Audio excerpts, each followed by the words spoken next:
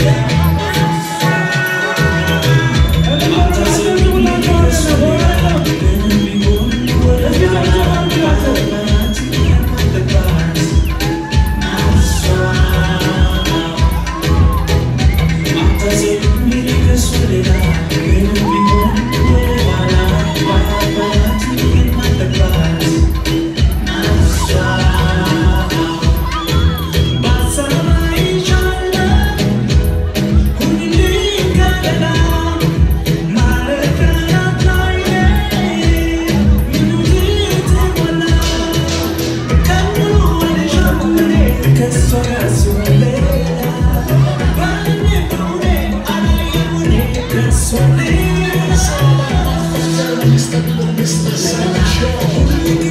silence, silence.